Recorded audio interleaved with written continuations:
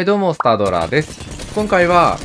一瞬で身につく正しい詰め方について話していきます。ファイトが始まっても正しい詰め方がわからずに、動けずに負けてしまうっていうことがある方は、ぜひ参考にしてみてください。前半はクリップを見ながら説明をし、後半、実際のランクでの解説になります。では、本題に入っていきます。よく、詰めてって言われたり、詰めたいと思っても、どういう風に、ましてやどこまで前に出ていいかわからないってことがあると思うんですよ。味方が誰か削ってくれたけど、無理やり詰めてしまったせいで、ダウンをもらったってこともあるだろうしね。ただ、そういった失敗は、今日を境に起こりません。まず詰めるっていうのは、遮蔽物から遮蔽物に移動すること。どんな状況であれ、何にもないようなところに詰めることはないです。相手が何もないとこにいる場合は、その近くにある遮蔽物まで行ければ、隠れられることなく撃てるはずだしね。大体は相手のいる遮蔽の裏までたどり着いたら、ゴールって感じかな。どこに詰めたらいいかは、戦闘のたびに毎回違うんですけど、基本的には3人いる中のどっちかの端っこの敵に向かっていけば 1v1 に持ち込むことができ、安全に戦うことができます。で、一番大事な詰め方。どうやって詰めたらうまくいくかっていうと、敵に見られていたら打ち返して、見られていなかったら前に出る。これだけです。どういうことかっていうと、相手と遮蔽を挟んで見合っている場合、相手がその遮蔽からこちらを見ている時と見ていない時、もしくは見ていても打てないっていうパターンがあります。見られているってことは、こっちも打てるし、相手も打ち返すことができるっていう状況なんで、そんな中前に出るのは危ないです。なので前に出るためには、相手がこっちを見ていないっていう状況を作らなきゃいけなくて、そのために削るんですよ。こっちが先に100くらい削ることができたら、相手はバッテリーを巻かなきゃいけなくて、4秒間こっちを見ることができません。なんでその間の時間を使って前に出ます。グレとかでも同じですね。相手がこっちを覗くために見なきゃいけない場所にグレーを置いておけば、その間安全に詰めることができます。なんで削ってから前に出るっていうのは簡単なんですけど、削らなくても前に出たいって場合、こういう時は詰めてる最中の動きが大事です。まず、相手が2人以上見てる場所からは絶対に詰められません。これはさっきまで話してたことと一緒で、2人以上見てたらいくら1人を削ろうともう1人にカバーされるからね。そのために横に大きく開いて、相手が1人しか見てないよって場所から前に詰めていくパターンが多いんですけど、1人すら削ることができていないって時は、詰めてる最中に覗いてきたら打ち返す。あくまでこれはリカバリーっていうか、最悪の場合って感じでもあるんですけど、削れてなくても詰める場合と、削ったのに相手が巻かずに詰めてる自分を打ってきてる場合とかね。こういう時は迷わず打ち返しましょう。これはね、仕方ないんですよ。上手い人のプレイとか見てて、何にも遮蔽物ない場所で、なぜか打ち勝ってるみたいなことがあれば、おそらくこのパターンです。詰めてる最中に覗かれて仕方なく打ってるみたいなね。自分が詰められる側の気持ちになればわかると思うんですけど、もし100くらい削られて、相手が詰めてくるルートを自分しか見れない場合、このままバッテリーを巻いたら詰めてくるんですよ。なんなら距離によっては巻き終わる前に撃たれる可能性もあるしね。ただ逆に詰めてきてる最中の敵を撃つことができれば、相手は遮蔽物がないんで、こっちがどんだけ削られてようと、無傷でダメージを返すことができます。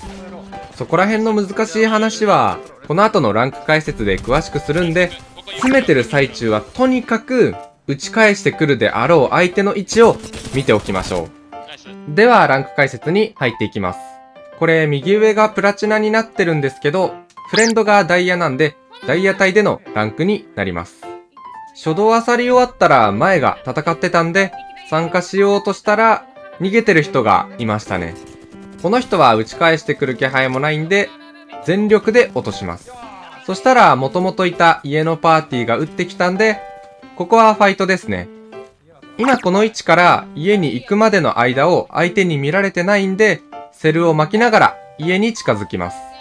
ただ詰めるとき味方と離れすぎると逆に詰められることがあるんで、味方の位置はこまめに見ておきましょう。で、とりあえず上に行きたいんですけど、ブラハなんで階段から上がるしかないですね。ホライゾンがリフトに乗ってたんで、ちょっと削りつつ、階段から上がって上を取ります。で、ここ 1v1 なんで打ち合って、回復すると見せかけて飛び出し。バッテリーを巻きながら、必死にバルキリーの車線を切ってます。これはちょっと危ないですね。ただ巻き切ることができたんで、もう一度階段から詰めます。この付けられたアークを利用して、相手のドアロックを突破します。3人目に勢いで突ったんですけど、ここは回復で良かったですね。こういう細かい駆け引きとかもかなり役に立ちます。で、次に移動してたら、前が戦ってたんで、後ろの遮蔽物まで寄ります。ああいう遮蔽がないとこで戦うと、こうやって後ろから囲われたりするんで、開けてる場所はすぐ離れるようにしましょう。自分たちの遮蔽と相手の遮蔽でかなり距離があるんで、ここから爪の駆け引きが必要になります。まず相手より高い遮蔽を取って、できる限り削ります。ただ、ブラハウルトを使おうが、こっからあの岩まで4秒ではたどり着けないんで、相手が甘えて1人倒せでもしない限り、すぐにバッテリーを巻かれてしまいます。なんでそのバッテリーを妨害するためにグレを投げつつ、削ったタイミングで前に出ます。そしたら相手も下がったんで、そのまま追います。で、この時、こっちは冷たいけど、遮蔽がないんですよ。それを相手も分かっていて、この左のパスが、うまく遮蔽を使いながら、ピークしてきます。で、こっち目線も、味方が右から詰めてるんで、覗かれるとしたら、左からだけ。なんで詰めてる最中もずっとここを見て、覗いてきたら、なるべく前に行きながら打ち返します。っていうのが分かってれば、ここもダウンをもらうことなく前に出れるって感じですね。ブラハウル途中だったから良かったものの、もしこれ普通の状態で詰めてたら、あのパスに倒されてた可能性もあったしね。今回はだいぶダメージリードも取れてたんで、強気に詰めることができました。で、次に家のパーティーとのファイト。ここは自分がかなり見られてるんで、遮蔽を使いながら詰めるために削ろうとしてます。そしたら味方が右からリフトで上がってくれたんで、見られてないうちに前に。この横槍は別パですね。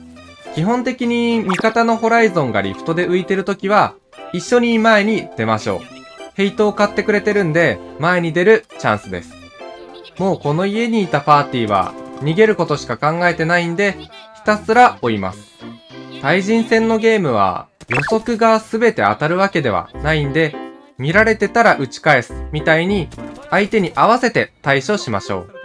う。で、ここ倒し終わったら、さっき撃ってきたパーティーを沈めます。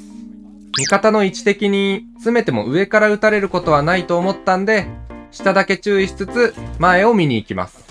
で、相手が覗いてきてるんで、打ち返して、全く見てこなくなったんで、詰めます。で、隣の変ないざこざから1キル拾うことができたんですけど、だいぶごちゃごちゃしてるんで、一旦離れます。そのままエリアに移動してたら、ラストの2部隊が戦ってて、いい感じに後ろが取れてます。ラスト3部隊は戦ったら負けるんで、なるべくダメージをもらわない範囲で削ります。そしたら相手がこっち見てなくて、1枚落とせました。そのまま2枚目も削り、もうあのバルキリーは覗いてこないんで、もう1人を撃ちに行きます。これが倒せてれば、このまま味方に来てもらって、バルキリーまで行けましたね。ただ、コースティックにウルトまで測れたんで、一旦下がります。奥にもまだパーティーがいるんで、ここは絶対ダウンすることができないです。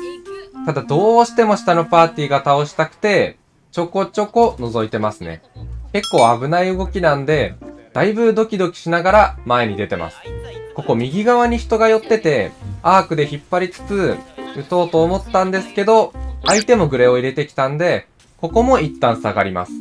グレを投げたとこって警戒が下がりがちで、もしかしたら甘えてないかと覗いたら甘えてましたね。車線が通る中蘇生をしていて、運よく2人目まで倒すことができました。あと、中のパーティーが1枚で、しかもコースティックなんですよ。最後の収縮まで残すと強いっていうのもあって、どうにか狙いに行きます。ただここはそう簡単に倒させてくれなくて、なんなら散々ちょっかいかけたイライラで追っかけて出てきましたね。ここまで持ってきたらこっちのもんです。このパーティーを倒しきり、ラストは奥にいたパーティーですね。自分がここと打ち合ってる間に、味方がこの上から打っててくれたんで、もうあとは合流するだけで勝てましたね。こんな感じで、詰めるときは相手が見てたら打ち返す。見てなかったら前に出る。これだけ覚えておけば、ダウンも減るし、かなりスムーズに前に出ることもできるんで、ぜひ試してみてください。この動画が役に立ったと思う方はチャンネル登録、高評価お願いします。では今日はこんな感じで終わっていきます。ご視聴ありがとうございました。